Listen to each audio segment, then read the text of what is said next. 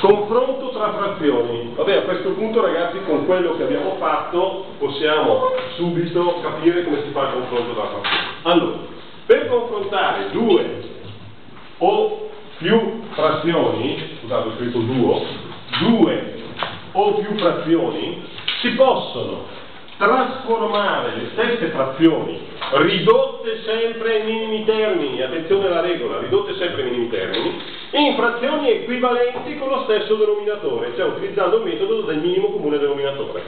E poi, confrontando i numeratori, stabilire qual è la più grande. Tra 7 sesti e 24 sesti, qual è la più grande? 7 sesti, 24 sesti. 7 banane, 24 banane. Quante banane, dov'è che ci sono più banane? 24 banane. Chiaro? 7 sesti, 24 sesti, la più grande 24 sesti. Valgono comunque tre regole in ogni caso. Una frazione impropria è sempre maggiore di una frazione propria. Questa è una regola abbastanza facile, nel senso che la frazione impropria rappresenta una parte maggiore dell'intero, mentre una frazione propria rappresenta la parte minore dell'intero, quindi una frazione impropria è sempre maggiore di una frazione propria. Poi, nelle frazioni stesso denominatore, la più grande è quella con il numeratore maggiore. 7 quinti, 4 quinti, 2 quinti, vedete, stesso denominatore, la frazione più grande è quella che ha il numeratore maggiore.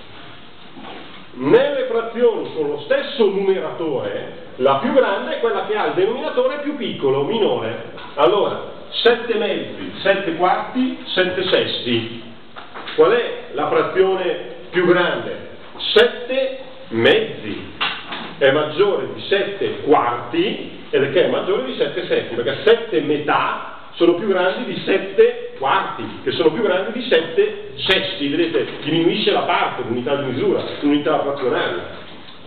Facciamo questo esempio metti su una retta orientata tutte queste frazioni, un sesto, 5 sesti, 7 sesti, un terzo, 5 terzi, 12 terzi e così via. Vedete che sono frazioni con denominatore diverso. Cosa faccio?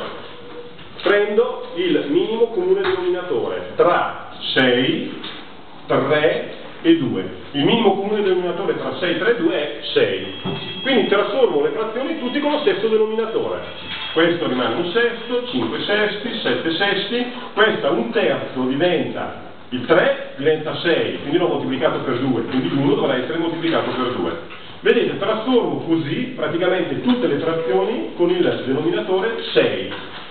Che cosa salta fuori? Nelle frazioni con lo stesso denominatore la più grande è quella con il numeratore maggiore, quindi a questo punto la più grande vedete 12 terzi che era stata trasformata in 24 sessi e quella con il numeratore più grande. 24 sessi, se io faccio la mia retta orientata, prendo l'unità di misura 6 quadretti, quindi il 5 sessi sarà 1, 2, 3, 4, 5, eccolo qua, vedete?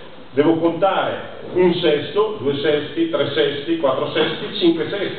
Il 24 sesti, che è la più grande, dove sarà 24 sesti? Dovrò contare 24 quadretti, 1, 2, 3, 4, 5, 6, 7, 8, 9, 10, 11, 12, 13, 14, 15, 16, 17, 18, 19, 20, 21, 22, 23, 24 sesti. Vedete qui sul 4, in effetti se io semplifico 24 sesti, o 12 terzi che è la stessa cosa, cosa ottengo? 4 primi,